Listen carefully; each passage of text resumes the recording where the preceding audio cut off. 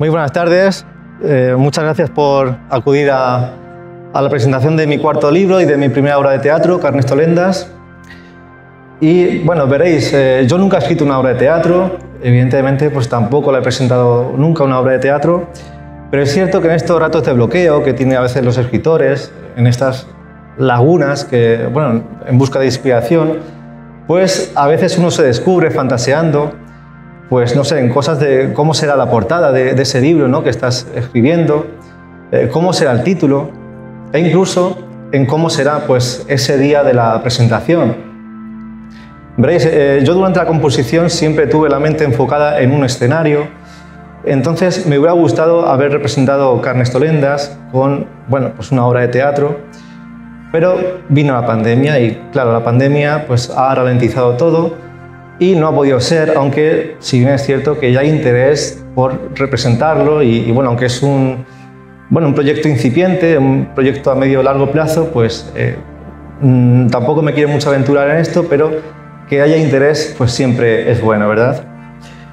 Entonces, eh, bueno, decidí hacer esta presentación enfocada en el libro como, bueno, pues libro físico, aparte ya también de que uno tiene esas ganas de verlo ya entre sus manos, eh, de poder tocarlo, poder verlo, pues eh, bueno, pensé que una de las cosas que precisamente defiendo con esta obra es que el teatro pues también se lee, no solamente es eh, en un escenario, ¿no?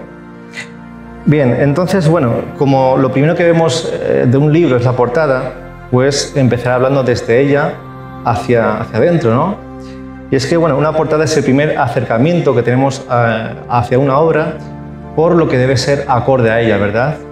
Yo diría incluso que debería definirla con una imagen. Veréis, es muy decepcionante que después de, todo el trabajo que lleva escribir un libro, toda la autodisciplina y ese sacrificio, pues la portada eh, no, no, fuera acorde a ese esfuerzo o a ese mm, argumento de la obra. ¿no?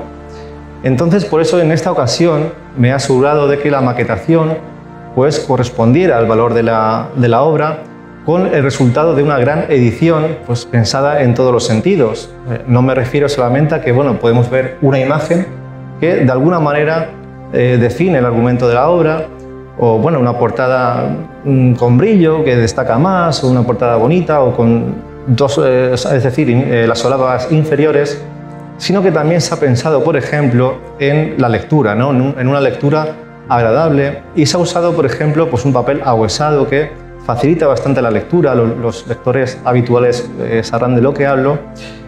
Y eh, bueno, por ejemplo, también se ha pensado eh, o se ha respetado la numeración de los versos como se viene haciendo en, el teatro clásico o en el hemistiquio, la fisura de los versos quebrados pues para mantener esa, esa métrica y esa, la, la rima. ¿no?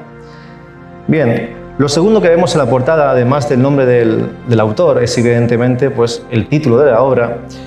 Y aunque es cierto que con Carnestolendas no me lo han dicho, pues eh, veréis, me han dicho varias veces ya de que, pues no sé, tengo una cierta habilidad para escoger el título de los poemas y de los libros. No sé si es del todo cierto, pero quizás sea porque, bueno, busco reducir al máximo el concepto ya sea de un poema o de un libro pues en un enunciado o en una palabra como puede ser en este caso con carnestolendas. Entonces, bueno, eh, que no carnestolendas como, como me han dicho alguna vez, ¿verdad? Entonces, bueno, eh, Carnestolendas, lo dije otro día en, Radio Fonsalida, pues es verdad que es un nombre un poco extraordinario y que seguramente pues, podría haber tenido un título más fácil o más bonito, incluso más comercial o como quieran llamarlo, pero no ha podido ser. ¿Por qué? Pues simplemente porque Carnestolendas es su título y no podría haber otro. Mm, una curiosidad, por ejemplo, es que eh, es el único de los cuatro libros que he escrito en el cual ya tenía el título preconcedido antes de empezar a escribirlo. ¿no? Es verdad que, la obra tiene un trabajo de documentación, eh, que bueno, pues ahí florecen ideas y florecen, por ejemplo, en este caso, el título. Pero antes de escribir una sola palabra, pues eh, ya tenía el, el título eh, preconcebidos. fijaros la importancia que tiene para mí el título y que intentaré explicar un poco. Bien, pero ¿por qué Carnestolendas? Veréis, En Carnestolendas destacan dos argumentos por encima de todos. Uno de ellos es la libertad de amar, derecho que no debería tener oposición de aquellos que no forman pues, parte de ese amor. Es decir, si dos personas se quieren, dos personas están contentas eh, y se aman mutuamente, pues nadie debería pues, oponerse, interferir o ni tan siquiera condicionar ese amor, pues ya sea con su voluntad o su capricho, ideologías o creencias. ¿no? Bien, y el otro de los argumentos de Carnes Tolendas es, eh, de hecho es el que más peso tiene en la obra, es el de que la vida es una función de teatro y que cada uno de nosotros somos actores con un cierto guion que representar. Es decir, que todos nos guardamos o nos escudamos en, las apariencias de nuestro propio personaje. Por esto el título de la obra es Carnestolendas, es decir, carnaval.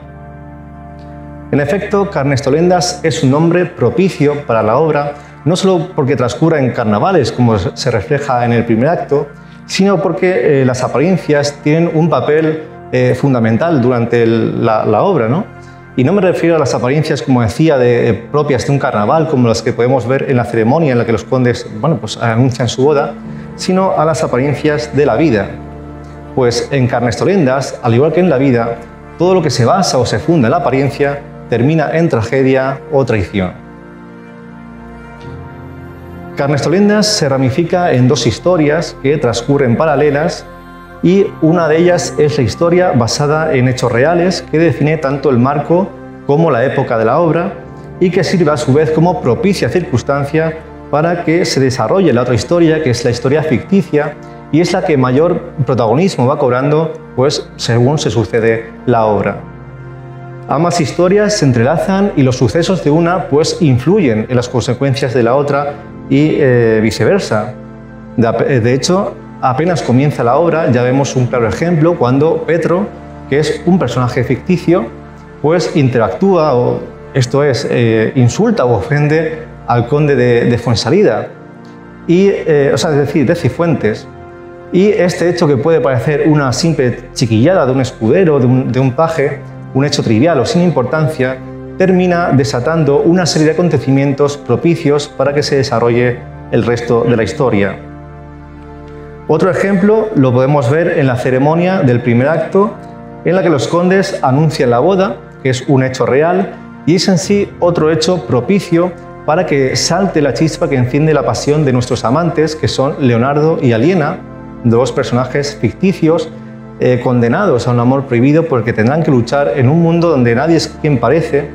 Y eh, bueno, que coinciden por motivo de la ceremonia de, los condes en el castillo de Cifuentes y bueno, es ahí donde pues, eh, se declaran esa primera confesión ya de, amor platónico. ¿no?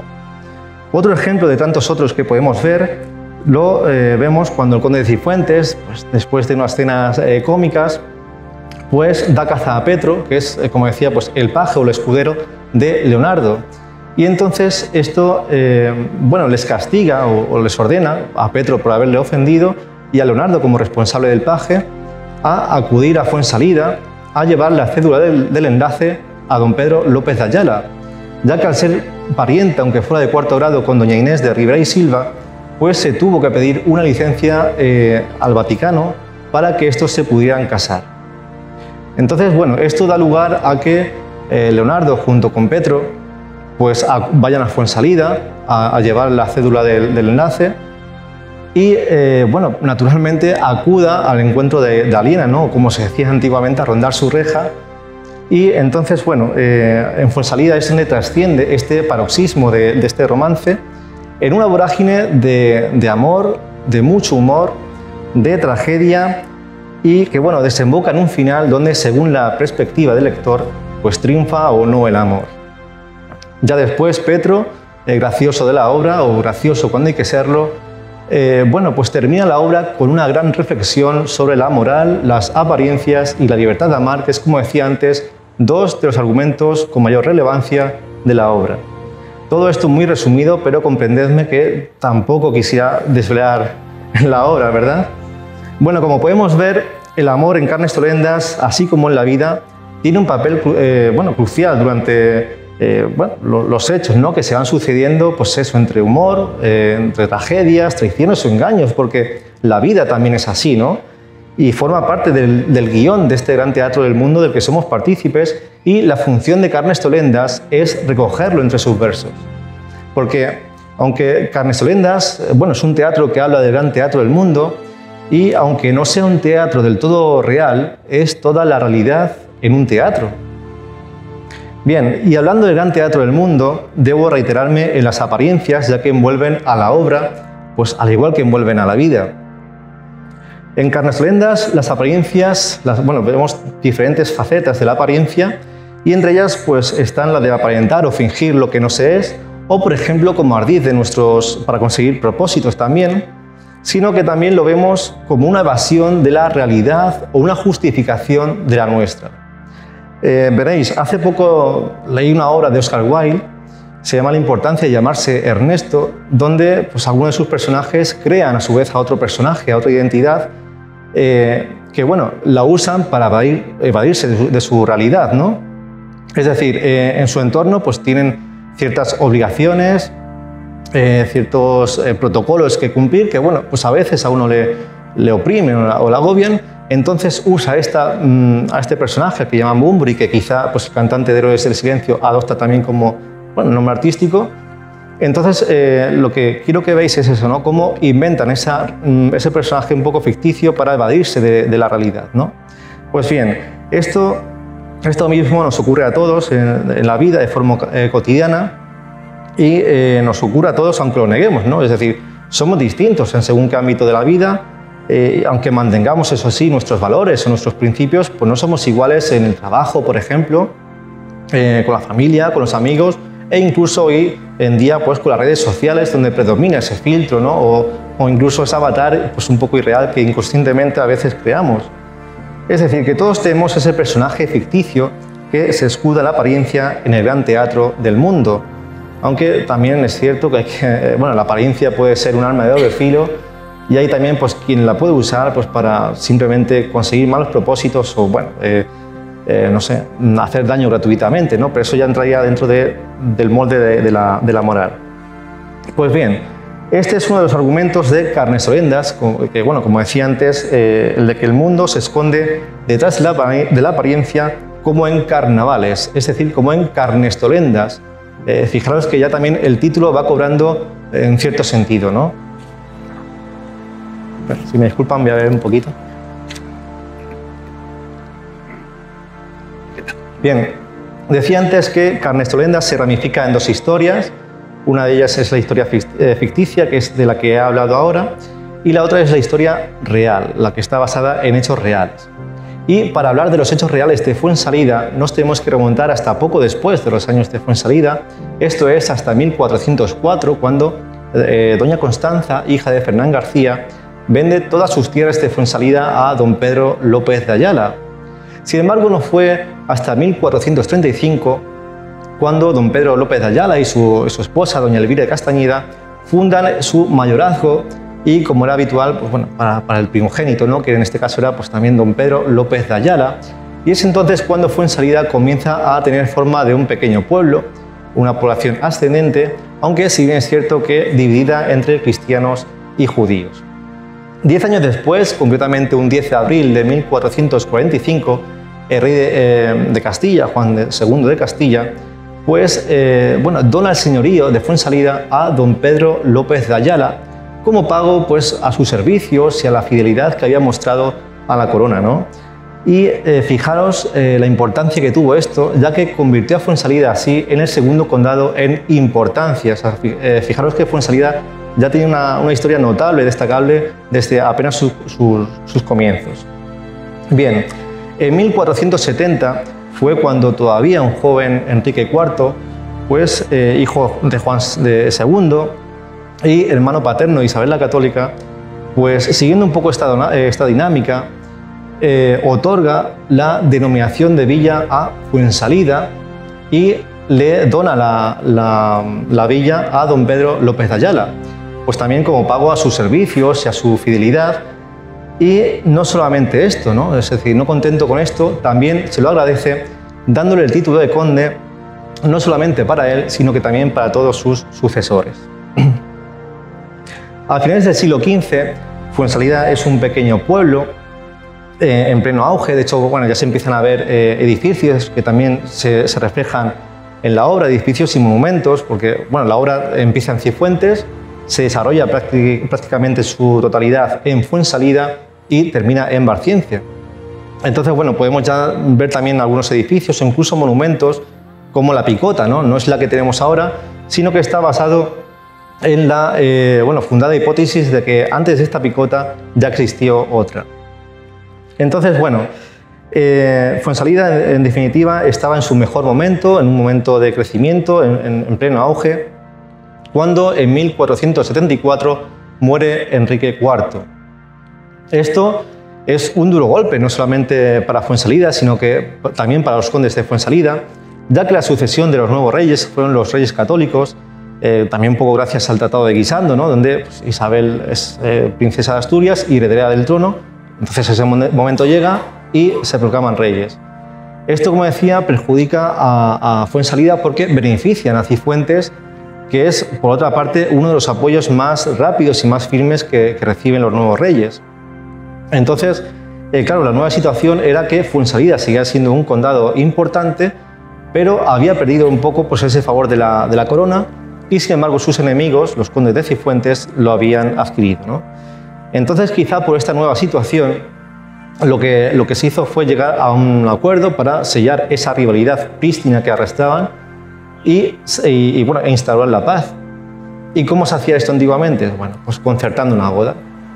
Y, en esa boda el conde de Fuensalida pues casaría a su nieto, don Pedro López de Ayala, con la hija de Juan de Silva, primer conde de Cifuentes, es decir, su primera mujer, doña Inés de Rivera y Silva, según reza en el Nobiliario Genealógico de los Reyes y Títulos de España, libro quinto, página 515, donde también se, fecha la boda en 1487 y es por tanto el año en que transcurre Carnes Tolendas. Eh, veréis que he sido un poco explícito con, esto, ¿no? de, lo, que acabo de contar, pero es que veréis, me ha pasado algo curioso con, con esto, ¿no? Eh, cuando uno lleva tiempo escribiendo, pues siempre la gente le pregunta pues, en qué anda escribiendo y demás. Entonces yo contaba que estaba con Carnes Tolendas, que era un libro que estaba basado en la, en la historia de, de, Fuensalida, y cuando resumía eh, esto que acabo de contar, bueno, pues me, encontraba con miradas recelosas, ¿no? Cuando decía que los, reyes católicos pues, perjudicaban de, alguna manera a Fuensalida. Entonces quiero dejar claro que Carnes Tolendas tiene un verismo estricto, en no están las cosas contadas según pasaron según están en los archivos y que no he adaptado nada a mi ideología ni a mis creencias. Es decir, como decía antes, tiene un verismo estricto y, bueno, pues nada, simplemente lo quería eh, recalcar. Bien, y para terminar ya me gustaría hablar de dos temas solamente. Uno de ellos es la versificación. Y es que Carnestolena se desmarca del molde literario establecido en nuestros días eh, ahora que, bueno, el verso libre y la, prosa pues, imperan tanto en la poesía eh, como en el teatro, Carnestolendas evoca a la, a la, época dorada del teatro y apuesta por la rima y la métrica tal y como lo hicieron los grandes dramaturgos del siglo de oro. En esta apuesta tan atrevida como valiente e incluso oportuna diría, se ramifica una gran diversidad de estructuras métricas que pueden ir desde las más conocidas como el romance, la redondilla o el soneto, pasando por una canción con su estructura de, seis sílabas, una, versión de la tarana que compuse para la obra, hasta las, las, que están más en desuso, como las no sé, octavas reales, décimas o el temido y complicado ovillejo. Bien, eh, si bien con el abuso de estas estructuras se puede correr el, riesgo de desnaturalizar eh, el, diálogo, de la obra con versos y, o, rimas o, métricas eh, forzadas, pues en Carnes vemos que el, diálogo de los personajes transcurren con total naturalidad. No sé si os... Bueno, antes he dicho que en la composición siempre tuve la mente enfocada en un escenario y es que, claro, cuando uno escribe una obra así, pues debe ser consciente de que no solamente se va a leer, sino que algún día se representará. Y entonces esa voz de, de un actor o una actriz pues debe resultar evidentemente natural. Eh, me remito de nuevo a Oscar Wilde porque hace poco, bueno, en el mismo libro, eh, creo recordar que, os eh, he citado antes, leí una frase que para mí es la definición perfecta de Carnestolendas y dice que la esencia del arte es producir eh, la idea del contemporáneo bajo una forma antigua. Pues bien, para mí eso es una definición eh, perfecta. También quiero recalcar que no tengo nada en contra de la prosa y el verso libre, de hecho mm, tengo muchos poetas que me gustan pasados y contemporáneos. Por ejemplo, eh, sin ir más lejos, hoy tenemos a Maite Gallego aquí entre nosotros, una excelentísima poeta de Madridejos, y pues escribe con verso libre y sin embargo vemos cómo tiene esa cadencia en el verso, esa sonoridad que no es fácil de hacer también y, sin embargo pues eh, una poesía magnífica, como decía, ¿no? Pero lo que no concibo es esta gente que dice que la métrica y la rima pues sale eh, forzado, ¿no? Y es que veréis, eh, si, un, si un poema está escrito bajo la rima y la métrica y está bien escrito, no es que no tenga que salir forzado, es que no sale forzado. Eh, si, por ejemplo, en esta época, maestros como Lope de Vega, pues vemos que, que, escribe con el métrico la rima y sin embargo no sale nada forzado, ¿verdad? Bien, pues en Carnas Vendas vemos también cómo las estructuras, las rimas, así como el uso del lenguaje, pues se suceden en perfecta armonía, ensalzando los diálogos cuando lo requiere la obra. Eh, que nadie se asuste cuando empiece a leer la obra y vea un, lenguaje pues, elaborado, recargado, porque la obra la empieza la nobleza, ¿no? los condes, y entonces el lenguaje también va con el personaje. Es decir, cuando habla los condes, pues ese lenguaje es más recargado, incluso la estructura, ¿no? pueden ser décimas y demás, o, por ejemplo, cuando habla Petro, Minerva, Fátima, Andrea o Eva, se suele hacer con un romance, una rima asonante, que también nos permite ese lenguaje coloquial, esa, picaresca también. O, por ejemplo, cuando hablan los protagonistas, Leonardo y Aliena, vemos como a rima consonante pues, ensalza esas bellas declaraciones de amor y viceversa. También vemos como esas declaraciones de amor ensalzan de alguna manera la eh, rima, ¿no? Y todo esto bajo un minucioso equilibrio del, lenguaje. Es decir, eh, no hay palabras... Eh, bueno, es decir, la obra transcurre con un lenguaje contemporáneo, pero evidentemente hay palabras y bueno, mm, formas y diferencias que nos evocan a la, obra. ¿no? no podemos usar en una obra pues, que mm, transcurre en 1487 palabras como televisión o, móvil porque sean disonancias y no tendrían lugar. Entonces, bueno, también que el personaje, o sea, es decir, al público al que va dirigido la, eh, la obra es evidentemente al público contemporáneo, es el que la debe disfrutar y entender, por lo que predomina el, lenguaje contemporáneo. Y ya para terminar, me gustaría hablar de un apartado. Eh, ahora que lo pienso, todos los libros que he escrito tienen apartados al final, y es un apartado de entremeses. Y es que ya sí que Ernesto será una apuesta pues, valiente en el, en el panorama teatral, por estar escrito bajo la métrica y la rima, los entremeses no son menos. Los entremeses son bueno, pues unas piezas que estaban destinadas a divertir al público entre acto y acto, aunque es verdad que ya cayeron en desuso a finales del siglo XVIII. Pero como apuesta por evocar eh, de nuevo esa época dorada del teatro español del siglo de oro, pues no podía faltar en esta edición una serie de entremeses que son cuatro en total. Y bueno, dos son en prosa, son dos sátiras, dos, mm, dos comedias eh, mucho más contemporáneas. Uno de ellos es La carnicería y otro La absolución de la muerte, que eh, bueno, es un entremés con el que yo me reí mucho escribiéndolo. Y los otros dos son de carácter trágico, que son La huérfana, era un, poema de, la inquietud la sangre, pero que también quise eh, adaptar, ¿no? porque ya se podía representar, entonces también quise adaptarle para una eh, edición completamente de teatro. Y el otro es Cuando todo esto era campo, una conversación entre un abuelo y su nieta, un diálogo enternecedor y, muy bonito que, bueno, a pesar de esto, termina con una sonrisa porque también quería terminar la obra así, con una sonrisa, y después, sobre todo, del final que nos aguarda Carnes Solendas, todos estos entremeses tienen algo en común, un nexo que es la bajeza humana y que también sirve como puente con la, con la obra, ¿no? es decir, que esto engloba de alguna manera la, obra. Entonces, bueno, yo creo que ya he hablado un poco de carnes vendas, ya os he introducido un poco en ello y entonces ya os toca a vosotros disfrutarlo. ¿no? y bueno, un simple consejito, si me permitís, es que yo sé que hay gente que no sé de prólogo y hay gente que sí, yo sinceramente. pero me gustaría que lo leyerais, no solamente porque eh, bueno, cuenta esto e introduce en la obra mucho más eh, detalladamente, sino que también nos cuenta la historia de Fuensalida mucho más detalladamente. ¿no? Eh, los, por ejemplo, los tres matrimonios del conde, o edificios o aportaciones hizo el conde, no solamente en Fuensalida o como el castillo de Guadamur, sino bueno, pues en Guadalupe, en Barcelona, en la Catedral de Toledo eh, etcétera. ¿no? Incluso bueno, pues cosas curiosas como por ejemplo la, la, deuda que nos dejó Francisca de Rivera y que tuvo que afrontar el cuarto conde. Y nada más, eh, antes de, pasar a, la firma, me gustaría reiterar mi agradecimiento a, los que habéis venido. Esto mm, es muy importante, de verdad, para un escritor mm, ver que, bueno, hay interés por, la gente, por, venir y apoyarte de verdad que yo creo que no, la gente que no lo vivo, creo que, que no es consciente de, lo que ayudáis con esto. ¿no?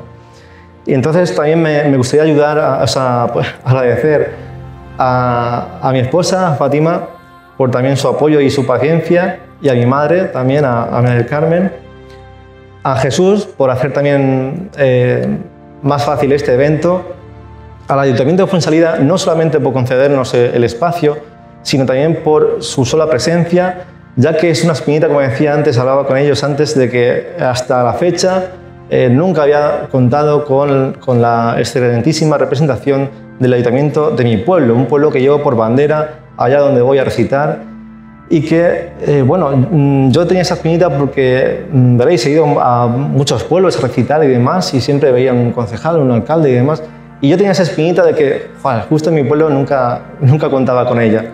Entonces, de verdad, eh, muchísimas gracias. Yo no sé si, si tenéis alguien algo que preguntar. Y si no, pues pasaríamos a la, a la firma de libros. Muchas gracias.